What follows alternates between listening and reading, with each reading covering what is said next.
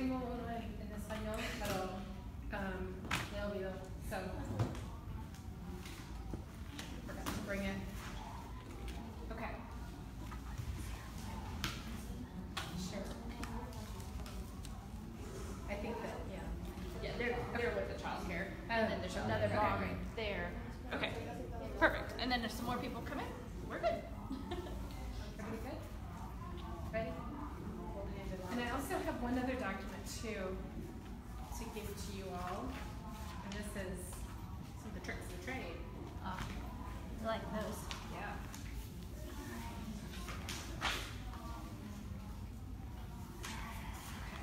All right, Excuse me. Good? All right, you ready? we are good. I'm Elizabeth, and I'm from Austin, and I've been working with families and children and adults with disabilities since 1984. So I'm really, really old. Um, and most recently, I guess since 2005, I've been working with um, parents who have had um, to either place their child in a, in a facility to get care, like a nursing home or a group home, and I've been working to get those kids back home with supports or working to keep them from ever going in or working to help find uh, what I call a support family to another family that can be paid to help raise the child, so shared parenting. And we've worked with 535 kids we've gotten out of facilities. So it's really incredible. Um, That's a lot. Yes, I'm really excited. Okay. We're gonna figure out Yes. the Spanish. Do you understand any English? Why don't you put her, ¿te sientas aquí? ¿Te quieres cambiar por favor? No, I can, you and I can. Yeah. She just asking us. Okay, we're Yeah. gonna- Yes. Y entiendo un poquito de español, pero no hablo muy bien.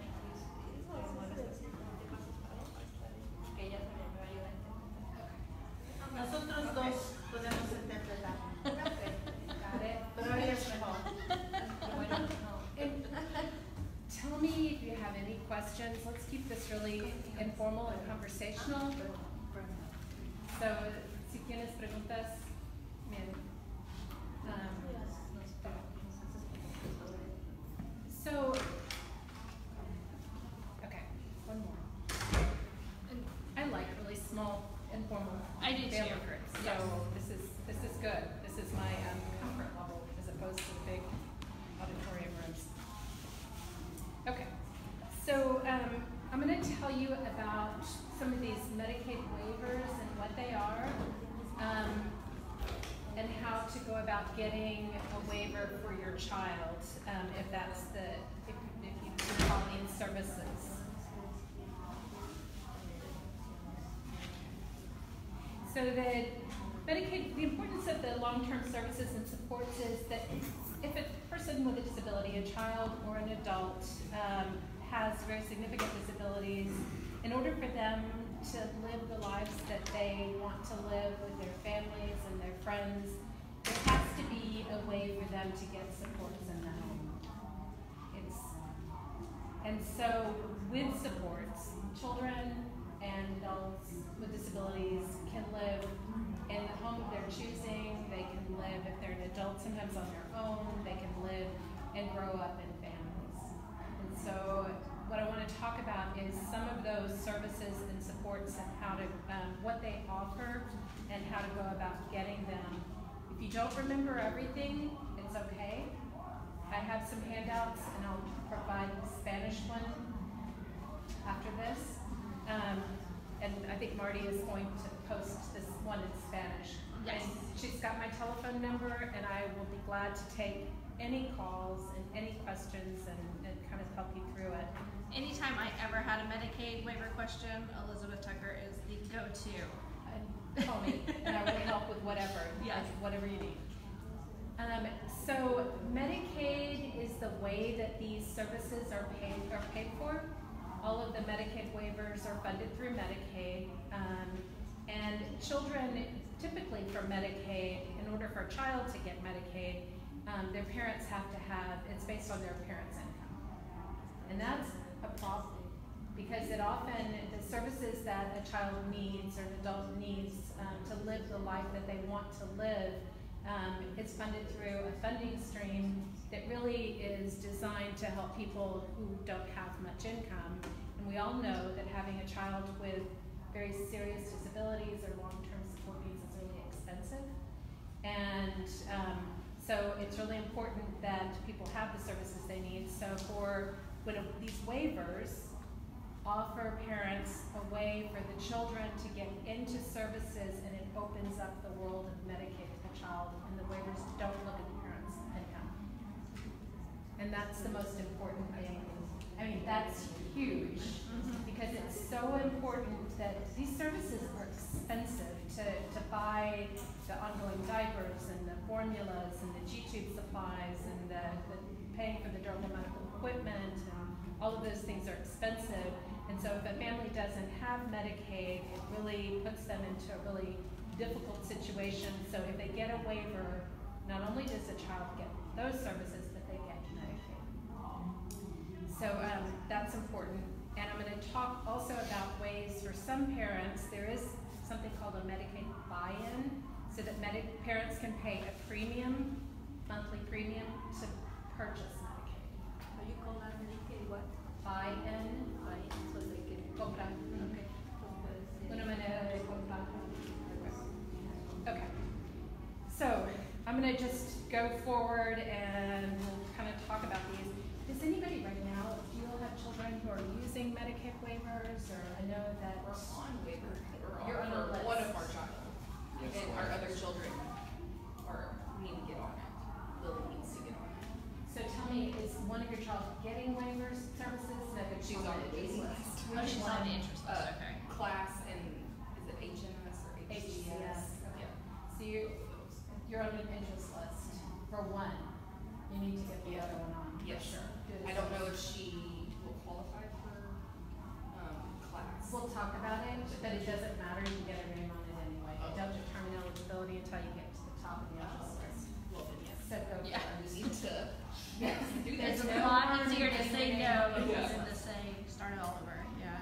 And I know that you used MDCP, for- and you used MDCP, and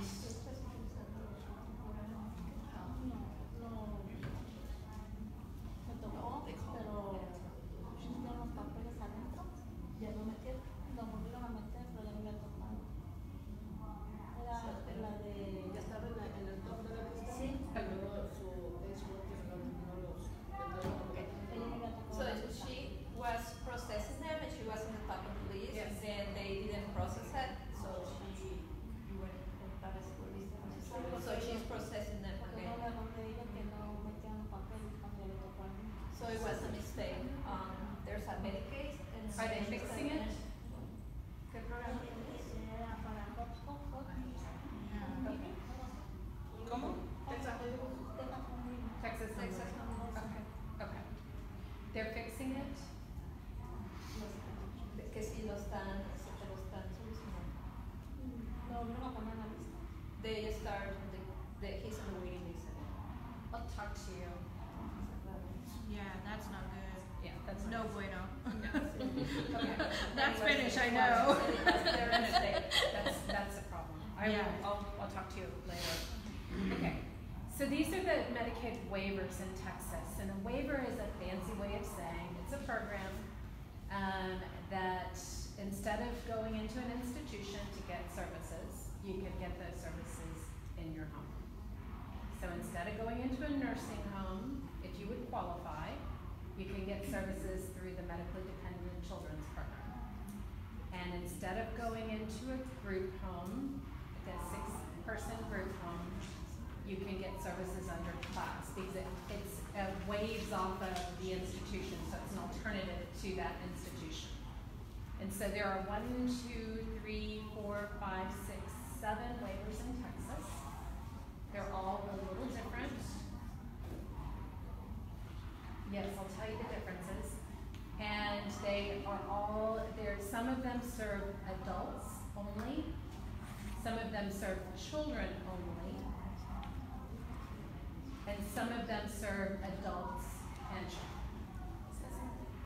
adult adults and children. Oh, adult, yeah. Okay. So, the waivers are supposed to allow the state, um, to provide those services, like I said, in the community instead of in facilities. And they're supposed to be pretty flexible. Not, they're not always, but they're supposed to be. Um, there can be, some of the waivers can have lots of services, or they could have a small amount of services, depending upon what they put in their waiver request to the federal government. They're supposed to be based on the needs of the person or the family. The eligibility is based typically all the time, except for one waiver, is based on the person's income and not there's a waiver that's not? One, Texas Home Living. Hmm. Texas Home Living is the only waiver that is, that does consider the income of the parent if the individual is under the age of eighteen. Which one? Texas Home Living. Mm-hmm. ¿Y cuántos años, cuántos años tiene? ¿Cuántos? Doce. ¿Y él tiene Medicaid? Okay, está bien. Yeah, if you've got Medicaid already and you're a child, then you can get Texas Home Living and qualify. Automatically. No, it just means that, um, that the income level is, is fine. Oh, okay. Okay. So there is, um, and then the waiver, like I said before, is a way for individuals not only to get their waiver services, but to get Medicaid, which is a huge thing. I mean, I can't speak highly enough about being able to access the Medicaid state plan services and talk about those. Because the waivers, while they offer some services, it's the pathway, it's the doorway to get into Medicaid. So, um, all kids, uh, can qualify for that or the, the, the nurses? The what? The, the nurses or qualify for, uh, waivers or? I'll, go through each one and tell you a story so you can see who qualifies. Does that make? ¿Quieres saber si está de lo que, que cuánto dinero haces o la disabilidad? La, sí, depende de la, del diagnóstico o todo el mundo. She's asking you, did you hear? She's wanting to know if it's based on the, what, the waiver's based on the diagnosis, which is yes. Algunos. Y otros en la edad de la persona. Yo voy. Okay. So sometimes the waiver is based on the diagnosis or the of the child, and sometimes it's it's based on. I'll, I'll tell you a little bit more. Okay, this is the first example. The MDCP waiver, and you all are on this waiver class, and it's not on this one. No. Okay. The MDCP waiver is the Medically Dependent Children's Program. And this waiver is for children who have a medical need for nursing. And so there's not a list of diagnoses, but it's a child who's got some nursing needs. So a child who probably has um, a physical disability and they need the, the services of a nurse. So they would qualify for going, getting services in a nursing home, but instead they want it in their home, their own home. This is a little boy, Eric, who is the son of a good friend of mine, Carla.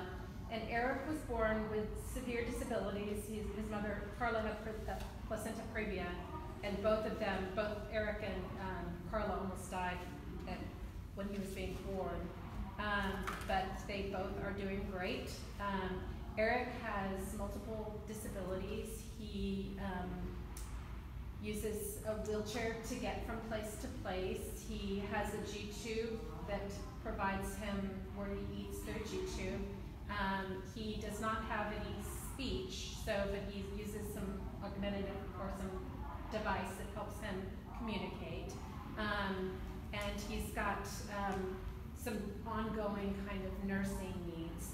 So Carla was working, and her she had, she and her husband uh, made too much money for a waiver for for Medicaid. Um, they also, they, they ended up at one point getting divorced, um, and Carla was on her own with Eric, and she still, she was working, we were actually co-workers together. And She made too much money from Medicaid, but Eric needed services. And so she placed Eric on the list, on the waiting list, for the medically dependent children's program, and his name came to the top of the list. And so this list is about five years long, but there is a way to get into the waiver without having to wait the entire five years if the child is really medically fragile and they really need the services immediately. So these services in this waiver are respite, un descanso para los padres y servicios en la casa. So, so respite is so parents can get a break and alguien puede, somebody can come into the home y ayuda um, con el niño. Sí, ayuda. Um, a cuidar al niño. So that's one of the services. And another services is uh, home modifications or modificaciones a la casa, like ramps and grab bars and wheelchair lifts. Um, if the person, if the family has a van, um, there's also some, because this waiver goes up to the age of twenty-one, we also were able to get employment assistance and supported employment into the waiver. Very few children need that. It's usually between, because they've got that in school, if they're between eighteen and twenty-two, but it's in there. Some adaptive aids, um, and adaptive aids are things that, um, like a feeding seat or a um, walker or things that, that the child might need. It could also even be, some adaptive aids might be some toys that are modified to, for the child to play with. Is that like communication devices as Yeah, well? it could be. Okay. Although, really what happens is, once you get into the medically dependent children's program, like Eric did, he got these services from the waiver, but he also had access to Medicaid, and Medicaid pays for augmentative communication devices. Okay. Um, so these are the services in this waiver, not very many at all, very few services. But Eric, when he got into this waiver, he got these from medically dependent children's program, he got respite. So Carla was able to get a break and she was able to hire somebody that she knew and that she trusted to come into the home to care for Eric. And she also used the waiver to modify her home, to fix her home so that, because he used a wheelchair and she needed to have a ramp. And she needed to open the door to the bathroom to make it bigger and to do some modifications to the bathroom so that it was easier. Eric, though, when he got the waiver, he got Medicaid. And Medicaid, this is paid for his doctor's visits, prescription medications,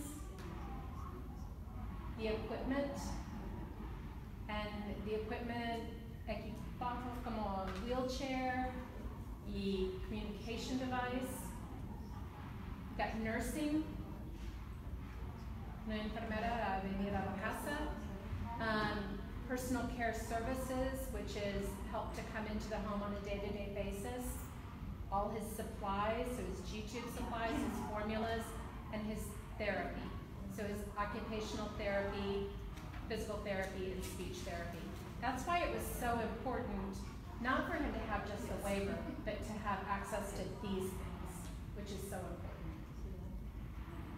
So um, that's the the one thing, uh, there are a couple of really important things about the medically dependent children's program.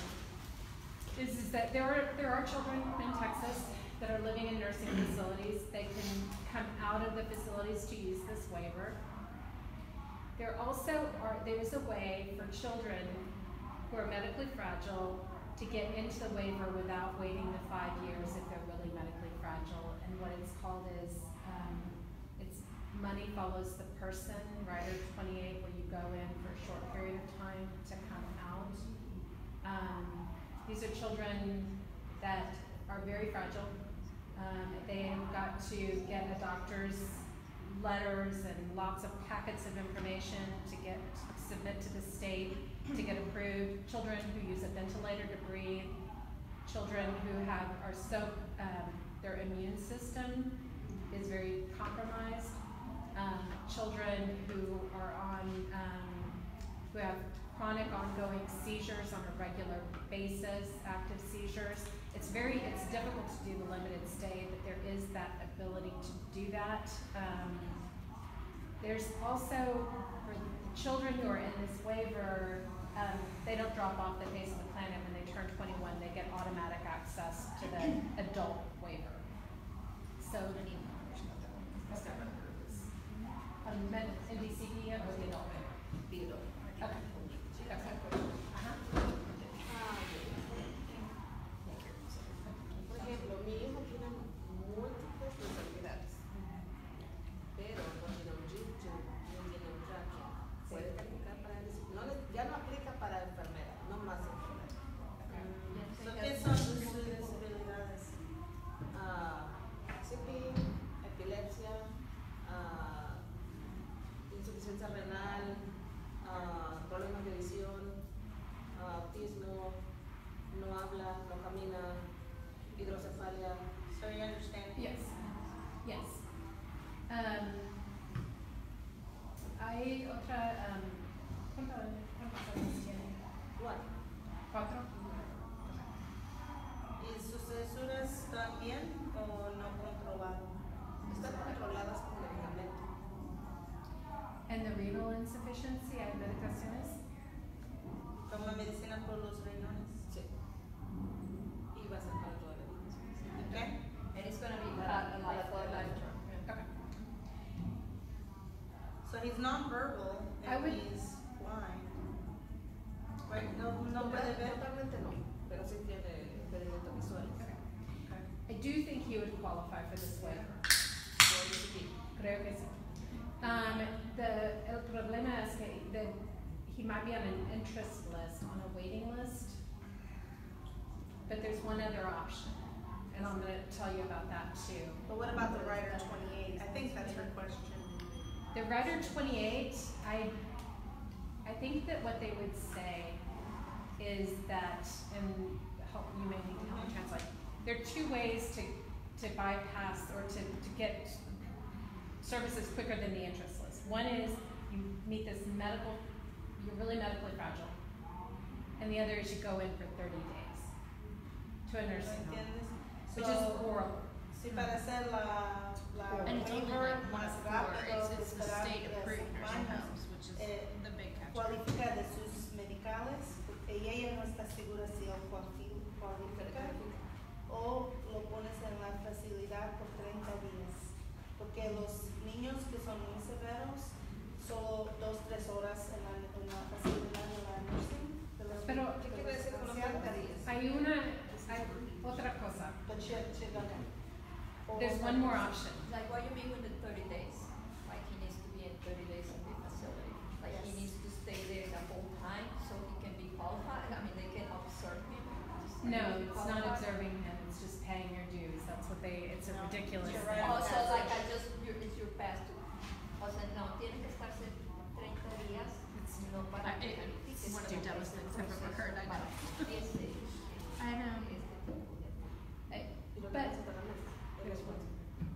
Apparently it's extremely complicated. I just texted my friend who is medically fragile. Said I'm gonna- yeah, She said that they tried to bypass that list. Los, los niños más severos no necesitan. And every estar year it gets harder to bypass. Severos Every year they make it porque stricter and o stricter. esperar cinco años. Pero ella dice que está otro programa que piensa que su hijo cualifica. But Espera and, and the hospital should So follow this. I think más the que NICU one- does in some cases, but the Thirty hospital days doesn't. or- It has to be like one of these very few state approved Okay. hospitals. And there's no way mom would be like, sure, go. I told her we Yeah, gotta no, do There's, this. There's one other way though, that I'm gonna tell, tell you about in a minute, that's something new. And people don't know about. So, it's the HCS waiver, and that one has a way to buy, to get the waiver if you meet medical necessity for a nursing facility, which it sounds like he would. So you don't have to be so medically fragile. It's called a PASRR waiver. And that one, it sounds like he might qualify for, so I'll talk to you about that after this. You call it? What is the le- what is the letters for? Home and community-based services. Programa de servicio basado en el hogar. And I'll, I'll tell you about, I'll talk to you a little bit more about that one. So, I'm gonna keep going and then we'll keep asking questions.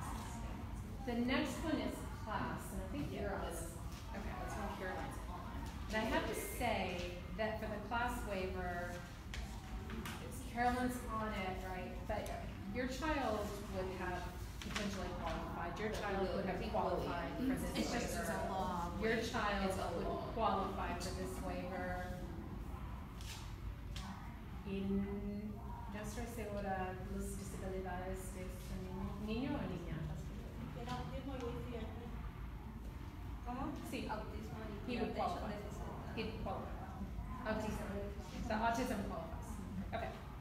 So the, this is a young guy, um, Terrence, who was um, injured in a car accident. He was uh, walking with his cousin along the railroad track at the age of seven, and he got hit by a pickup truck driven by a 14-year-old who was went out for a joyride um, and hit Terrence. And Terrence ended up with a spinal cord injury um, that was pretty, it was devastating, and it, Terrence relied on the ventilator to breathe, and um, ended up in the foster care system, ended up in a nursing home, and we were worked really hard. We got him out of the nursing home and into a family, but um, and quite a remarkable guy, um, quite a poet.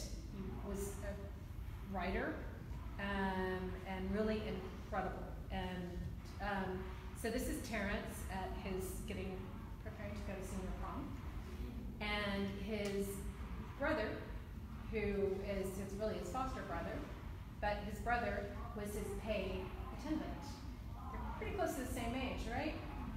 Made great sense. He didn't stick out at prom because he had another kid who was older, over than 18 who went with him. So um, as his escort. So fit right in. We fit in. So the class waiver, parents used class. And the class waiver is instead of, it's a waiver that is an alternative to getting services in a group home. So it is for adults and children. It does not look at parental income. The person has to have a disability that happened before 22 years of age.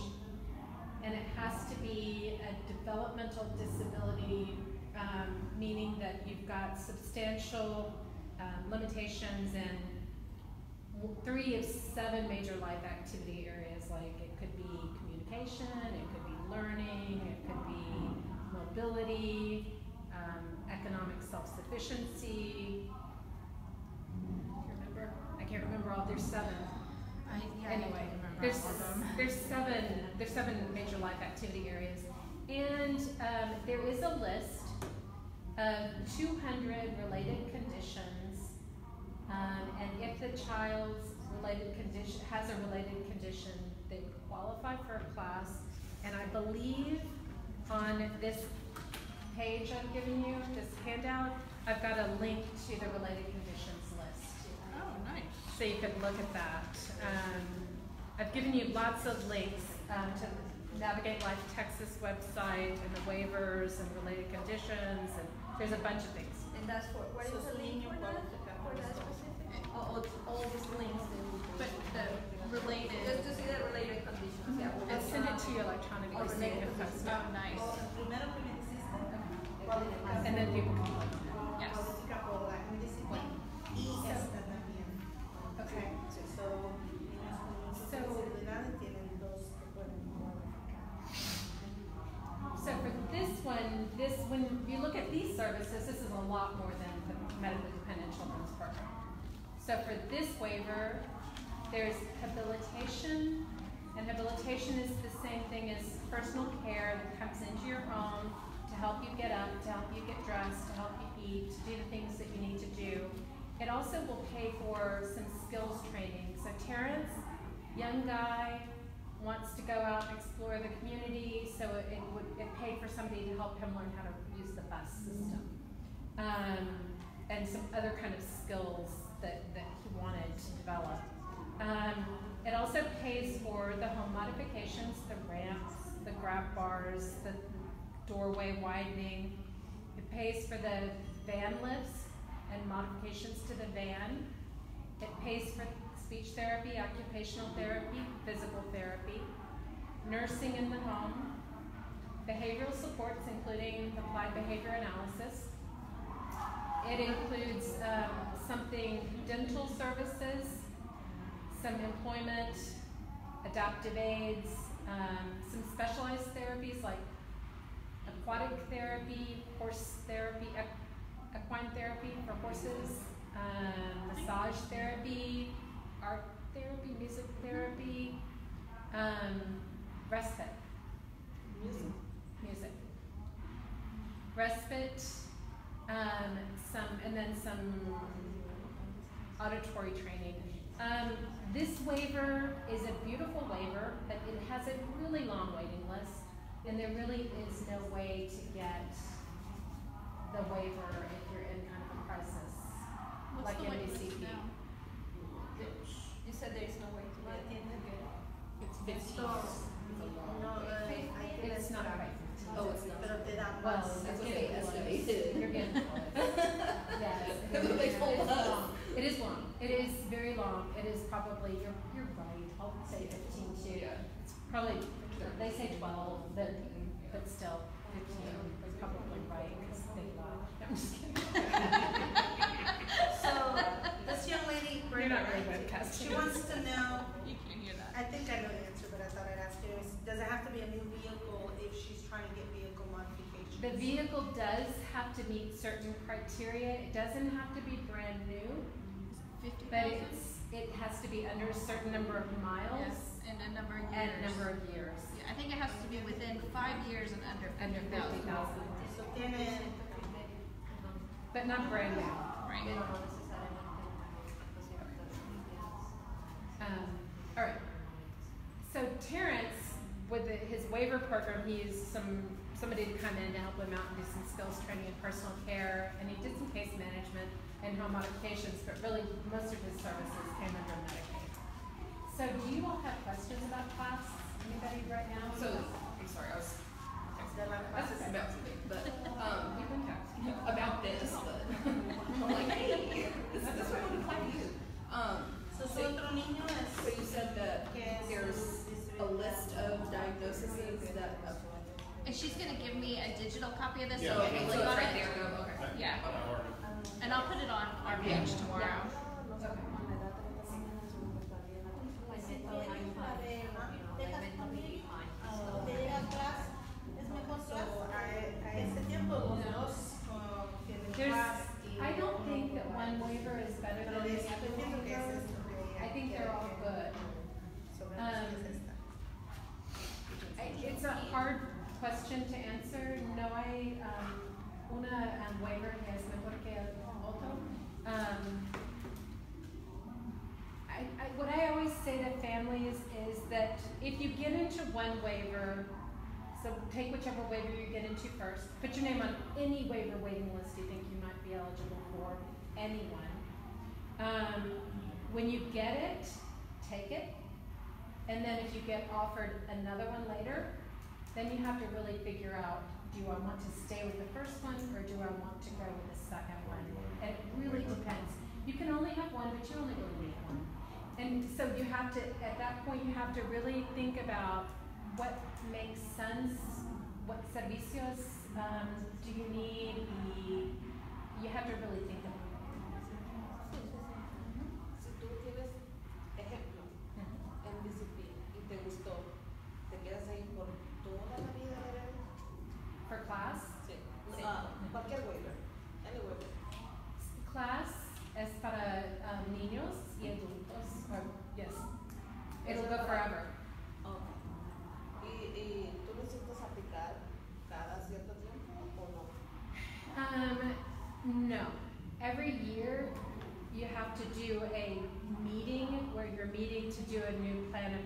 but you don't, um, With- they look at your eligibility, but it's not, you don't have to reapply and reapply and reapply.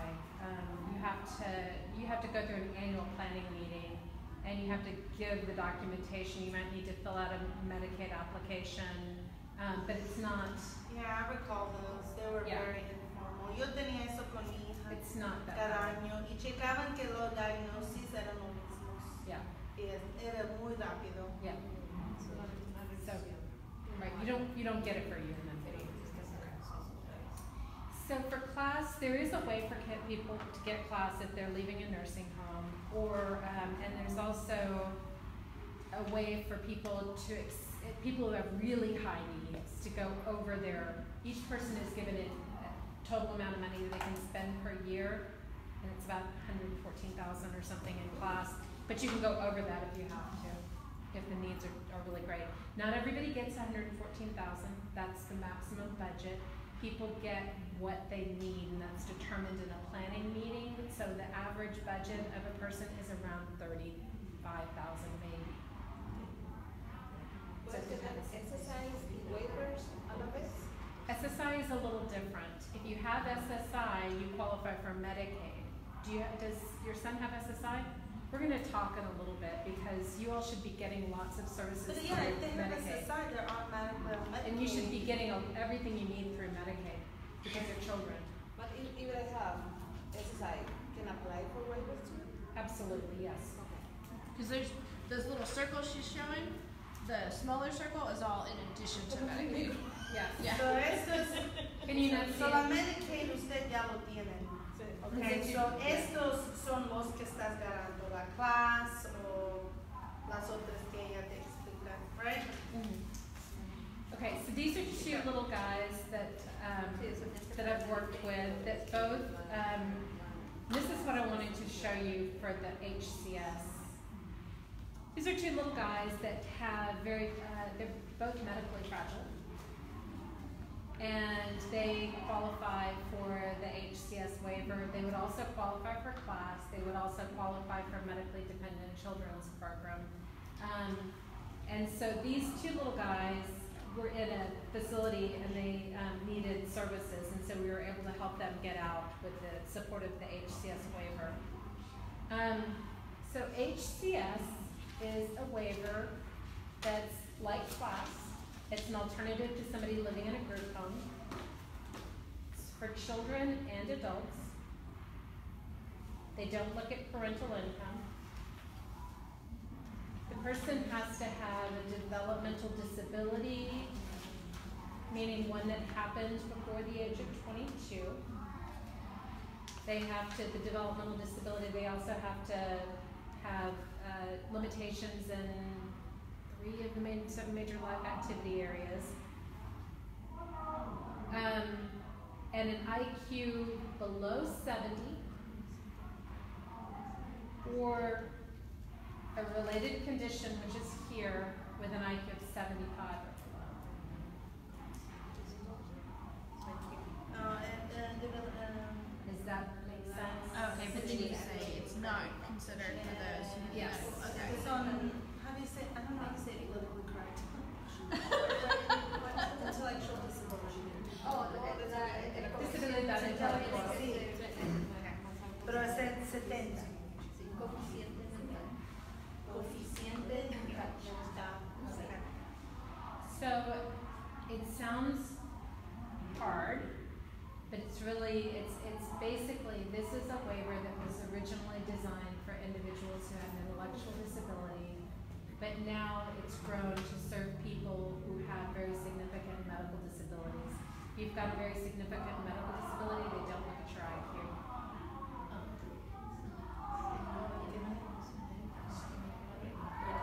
Ya lo cambiaron. So this is, it's very similar to MDCP, right? Or is it more similar to class? More similar to class. He can't, because it's. What's the diff, well, I guess one is IQ based. Yeah. Okay, so for this. So this waiver is, um, has, these are the different services, and these services look a little bit more like class. than the services in the medically dependent children's program. They've got residential assistance, meaning they've got the ability for somebody to live in a group home with three or four people. They have the ability for somebody like my two little guys to live in what's called a host home, so another family that's paid to take care of a child and share the parenting with their child. Um, that's one of the residential options. So it's a family. Um, and they also have the ability for a child or an adult to live with their family, their own family, or to live in their own place, to live in their own home or their own apartment. They also pay for modifications to the house, modifications to the like to the vehicle, like a van lift, therapy, speech, occupational therapy, physical therapy, nursing, behavioral supports, employment, adaptive aids, respite, something to do during the day, they have, and dental. They all look a lot alike, right? You're starting to see a pattern. Um, this service, so for my little guys, and you can't see the dark circle, I'm sorry. Um, the, these little guys, uh, used for their HCS, they used the host home service and adaptive aids, but Medicaid paid for their doctor's visits, their medicines, their therapies, their supplies, their equipment, everything that they needed came through Medicaid, but they got Medicaid because they went into the, through the HCS door. Their parents' income was too high for Medicaid. Los padres ganan demasiado um, dinero But because a calificar para Medicaid y por eso necesitaron um, the waiver. Y the waiver um, não considerar love the Lasanas de, de los Padres. Okay. So host home, uh -huh. so the whole family of